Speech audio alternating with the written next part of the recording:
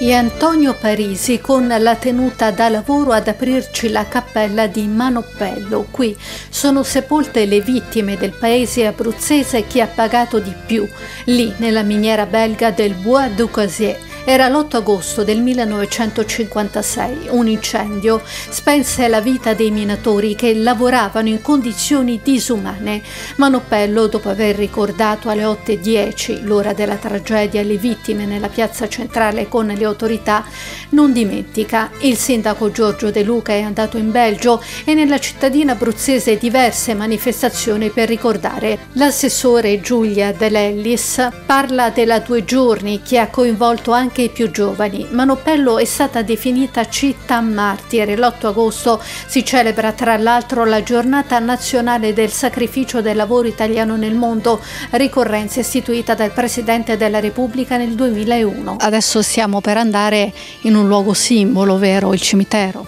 Sì, stiamo per andare al cimitero al, dove c'è la cappella eh, delle vittime di Marsinelle. Nel 1956, dopo il rientro delle, delle salme in Italia, eh, fu costruita questa cappella nel, nel, cimitero adiacente alla Basilica del Volto Santo eh, che per noi è, appunto questo luogo è tutto molto eh, simbolico e rappresentativo per Manoppello, è un luogo molto importante perché c'è il Volto Santo di Manoppello a fianco a quello che è il monumento rivolto alle vittime, a ricordo delle vittime di Marsinelle. C'è un gemellaggio tra Manoppello e Charleroi che suggella un legame profondo. Stamattina a deporre la corona di alloro anche Lynn Manovrier, consigliere comunale di Charleroi e nell'organizzazione delle iniziative per non dimenticare la tragedia. Lì ora c'è un museo, vero? Sì, sì, c'è un museo alla Bois du Casier, c'è al 2002 ha aperto il museo, fa 20 anni che, c'è un museo, è un, un lavoro normale, in memoria per le vittime.